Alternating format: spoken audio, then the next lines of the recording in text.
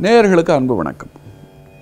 அனுஷத்தின் அனுகிரகம் நிகழ்ச்சியிலே மழை பொழிவின்மை வறட்சி மழை பொழிவதற்கான வழிமுறைகள் விஞ்ஞானம் என்ன சொல்லுகிறது மெய்ஞானம் என்ன சொல்லுகிறது என்று இந்த நிகழ்ச்சியில் கடந்த மூன்று நாட்களாக பலவிதமான கருத்துக்களை நாம் சிந்தித்து கொண்டு வருகிறோம். இன்றைக்கு மழையை தொட்டு பெரியவருடைய வாழ்க்கையில் அவர் நிகழ்த்திய சில அற்புதங்களை நாம் சிந்திக்க இருக்கிறோம்.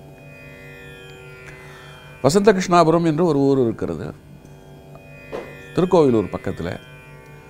பெரியவர் அவர்கள் யாத்திரை செல்லுகின்ற சமயத்தில்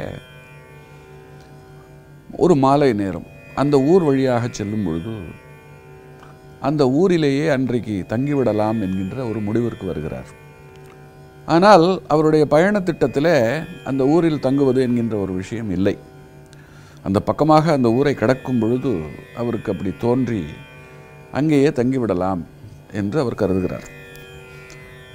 இதை மடத்தை சார்ந்த மேலாளர் முதலியவர்களுக்கு தெரியப்படுத்தவும் பெரியவர் ஒரு முடிவு எடுக்கிறார் என்று சொன்னால் அதற்கு பின்புலத்திலே மிகச் சரியான காரணங்கள் இருக்கும் என்று அவர்களும் சரி என்று சொல்லி வசந்த கிருஷ்ணாபுரத்திலே தங்குவதற்கு முடிவு செய்கிறார்கள். அந்த சந்தர்ப்பத்தில் அங்கே மழை இல்லை. வறண்டு கிடக்கிறது.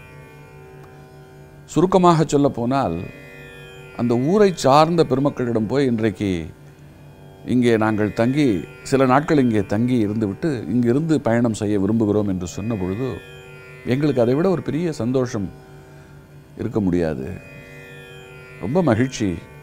எங்களை போன்ற இந்த போன்ற வறண்ட பின்தங்கின கிராமங்களிலே பெரியவர் போன்றவர்கள் பாதம் படுவதும் அவர் இங்கே தங்கி பூஜை செய்வதும் நாங்கள் செய்த பாகியம். ஆனால் ஒரு துரதிருஷ்டம் பாருங்கள்.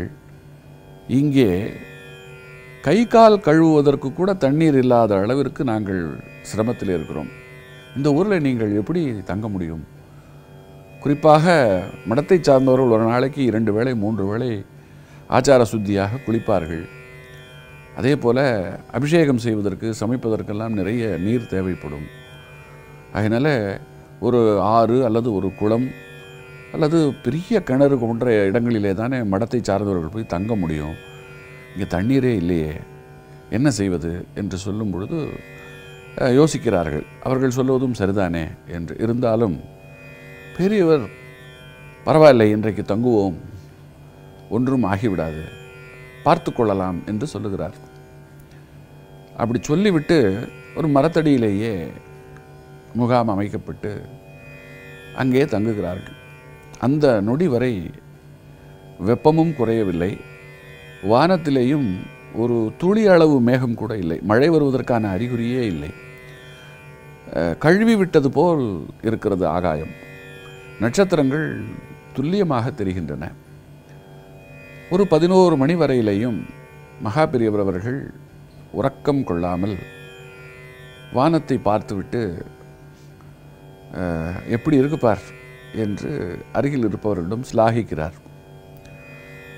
அதற்கு பிறகு ஆழ்ந்த ஒரு தியானத்திற்கு பிறகு உறங்கச் செல்லுகிறார். ஒரு ஆச்சரியம் போல நள்ளிரவுக்கு பிறகு மழை மேகங்கள் திரண்டு ஒரு பெருமழை பெய்ய தொடங்குகிறது. கிட்டத்தட்ட மூன்று மணி நேரம்.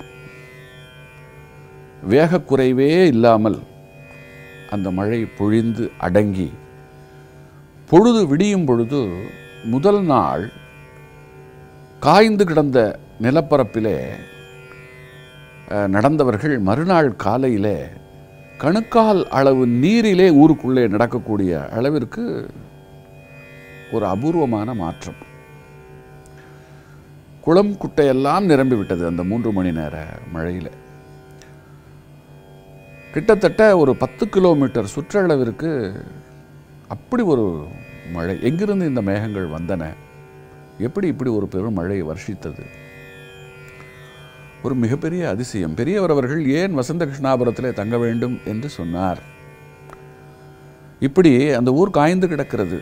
அந்த ஊருக்கு நல்லது நடக்க வேண்டும் என்கின்ற எண்ணத்தின் அடிப்படையில் மடத்திலே பூஜிக்கின்ற அந்த இறை உருவங்களோடு அவர் அங்கே தங்கி அன்றைய இரவு அவர் செய்த பூஜையும் தியானமும் அந்த ஊருக்கு ஒரு மிகப்பெரிய விமோச்சனத்தையே தந்துவிட்டது என்று சொல்லலாம். மறுநாள் காலை அந்த ஊரை சார்ந்த அத்தனை பெருமக்களும் பெரியவரை வந்து பார்த்து இப்படி ஒரு மழை பொழியும் என்று எங்களுக்கு தெரியாது. நல்லவர்கள் இருக்க நல்ல மழை பொழியும் என்று கேள்விப்பட்டிருக்கிறோம். இதன் மூலமாக நாங்கள் உங்களுடைய அருள் சக்தியை தெரிந்து கொண்டோம் என்று ரொம்ப மகிழ்ச்சி தெரிவிக்கிறார்கள். பெரியவருடைய வாழ்க்கையில் வறட்சியை விரட்டிய ஒரு சம்பவங்களிலே இது ஒன்று. அதே போல ஒரு முறை அமைச்சர் கா. ராசாராம் என்பவர் உணவு அமைச்சராக இருந்தார். அவர் சென்னையில் இருந்து காஞ்சிபுரத்திற்கு வந்து பெரியவரை பார்க்கிறார். எப்பொழுதுமே உணவு அமைச்சராக இருக்கின்றவர்களுக்கு அந்த காலத்தில் பெரிய சிக்கல். உணவு பஞ்சம் ஏற்பட்டு ரேஷனில் அரிசி கொடுக்க வேண்டி வரும். நிர்வாகம் வந்து சரியாக நடக்காமல் மக்கள் கோபப்பட்டு அதனால் அரசாங்கத்தின் மேல் வெறுப்பு வரும். அதனால் உணவு அமைச்சருடைய பதவியும் பறிபோகும். இது அடிக்கடி நடக்கும். ராஜாராம் அவர்கள் பெரியவரிடம் இதையெல்லாம் சொல்லி நல்ல மழை பொழிய வேண்டும். ஏதோ உங்களை சந்தித்து வேண்டிக் கொண்டால் ஏதாவது வழிகாட்டுவீர்கள் என்று வந்தேன் என்று சொல்லவும் அவரும் நானும் பிரார்த்தனை செய்து கொள்ளுகிறேன். நல்லது நடக்கும் போய் வா என்று சொல்லுகிறார். ராஜாராம் அவர்கள் காஞ்சிபுரத்திலே இருந்து சென்னை வருவதற்குள்ளாகவே மழை பிடித்து கொண்டு அதற்கு பிறகு இதேபோல் மூன்று நாட்கள் பெரிய அளவிலே மழை பெய்து வறட்சி நீங்கியது. இப்படி பெரியவருடைய வாழ்க்கையிலே மழையை தொட்டு சொல்லுவதற்கு அநேக சம்பவங்கள். அதே சமயம் இந்த மழை மாத்திரமல்ல பல அபூர்வமான விஷயங்களையும் இந்த நிகழ்ச்சியிலே நான் அன்றாடம் சொல்லிக் கொண்டுதான் இருக்கிறேன். அப்படிப்பட்ட ஒரு அபூர்வமான தகவல் ஒன்றை நாளை உங்களோடு பகிர்ந்து கொள்கிறேன். குருவே காம கோட்டி குருவே